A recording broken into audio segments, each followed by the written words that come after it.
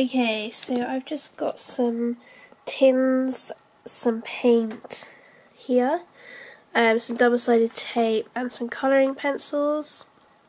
I've also got some um, paper that I've cut out and I've just drawn thing 2 on it. So if you've got two tins then for Dr. Seuss you can draw thing 1 and thing 2 on the circular piece of paper and that later on will be stuck on the tin like this but we need to paint it first. So if you want to get an empty tin like this just be careful um, because they do have sometimes have sharp bits at the top where it's been peeled. So what I'd suggest is if you've got some duct tape um, to put that over the rim here to protect your fingers uh, just from the sharp bits or if you're putting outside it'll protect the animals and insects from any sharp bits as well. Okay, so that's what we'll do first. We'll get some duct tape. Okay, we'll just put that along the rim.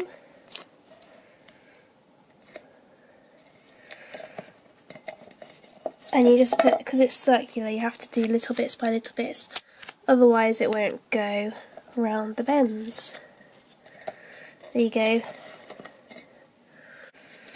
Okay, now we're good to go. That's nice and safe. Lovely. So I'm just gonna, um, I've just got some acrylic paint here any acrylic paint will be fine. And I've just got some water and a paintbrush as well, just to wash my brush. But I'm going to paint this tin red for a Dr. Seuss theme. So you just put plenty of paint on, it shouldn't take too long.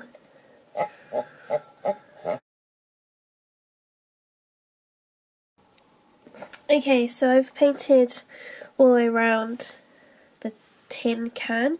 So you can get these tins from like baked beans or mangoes or whatever is in your cupboard. So or soup.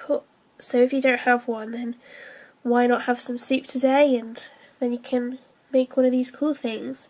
Now you don't have to do the bottom, but I think I will just to make it look cool from the top. So I just quickly cover that. It doesn't take long to cover it in paint.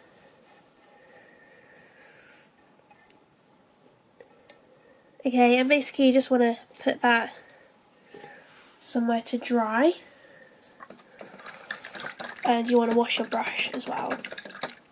So whilst that's drying, um, you can make your things that you're going to stick on it. So the paper thing one and thing two and that's going to go on there later on. So if you want to cut out circular piece of paper, I've just used some scrap paper as you can see. You can use any paper, any colour if you like. Um, just write it on there in black pen. You'll need some double-sided sticky tape or some glue or some sellotape, however, whatever you've got to stick it on in a minute. And if you've got some blue tissue paper or um, blue paper or even just magazine um, strips or anything you can find in your house. Maybe it's a blue plastic bag. You can cut it into strips. Um, use whatever you've got and later on we'll be tying them onto the bottom here or just gluing them on or sticking them to make this cool wind thing that you can hang up inside your garden.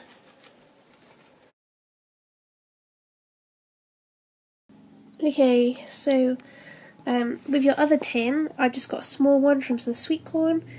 Um, I'm going to do like a Winnie the Pooh theme. Um, again, if you want to put some tape around the rim, just to stop your fingers from, um, you know, getting a cut because sometimes they can be quite sharp.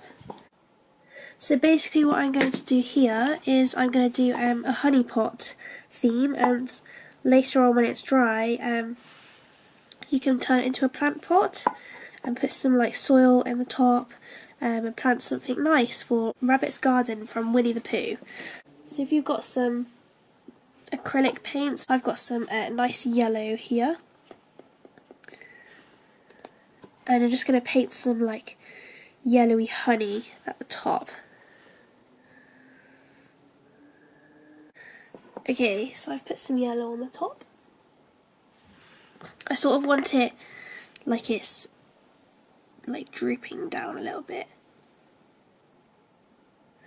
Like honey is spinning over the side.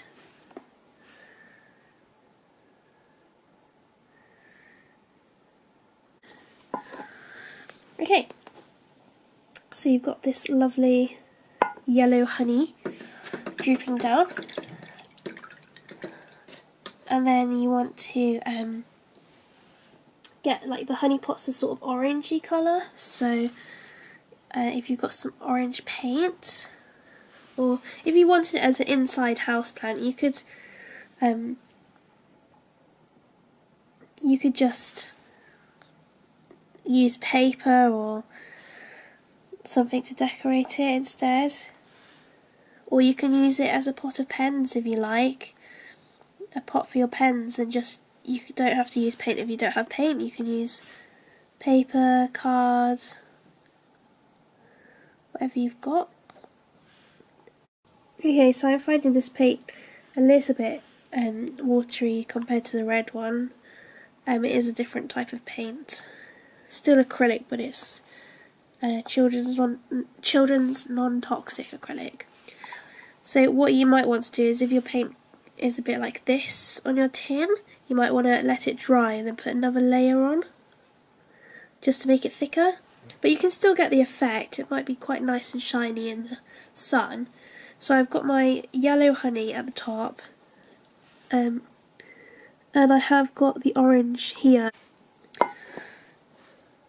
Um, and then at the bottom of the honey pot, it's red.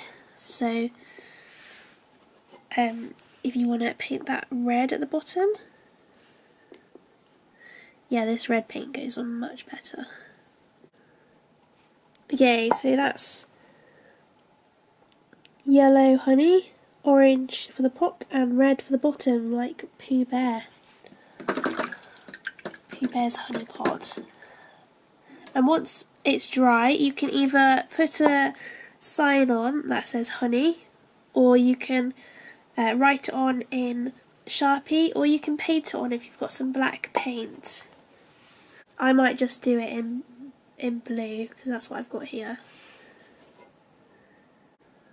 H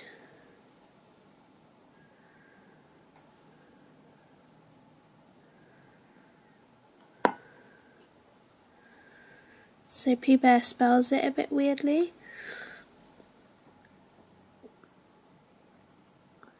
There we go, there's the honey pot for Pooh Bear's honey and you can put a lovely plant in there once it's dry, some soil and seeds, let it grow.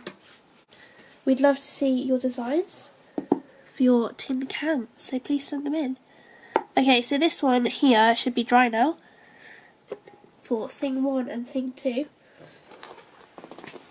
So if you've got some, um, like I'm just drying my hands, if you've got some double-sided sticky tape or some other tape, if you want to peel a bit off, and you want to get your sign here and just put it on, bit at the top, bit at the bottom, try not to get paint on it, as you can see I'm using the messy paint palette. Lovely. Just want to peel that off and you're going to put it on your dry tin can, okay? You might want to add a bit on the side, that's entirely up to you. Depends where you're going to put it. Lovely, so that's stuck on. You can either hang it in your house or in the garden. They're meant to be hung up in the wind, but obviously if you've got paper on here, then it won't um, last through the rain and the different weathers. Okay, now you've got your strips, you should have uh, done those earlier. So if you want to get your either plastic bag strips, tissue paper strips, um, paper strips, anything, and you're just going to put it inside your can.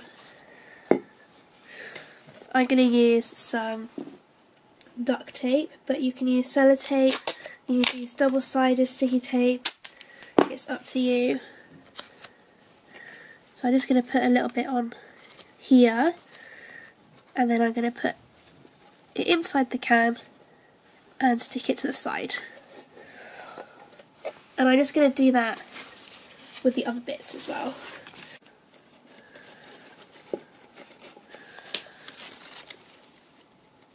There you go, if I hold this up you'll be able to see your thing two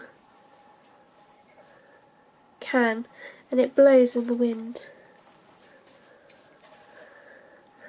So on the top um, you can um, stick or glue or tape on some string so you can hang it up so a bit there and a bit there and then you can hang it on a tree or in your house and watch the ends drop and fly in the wind.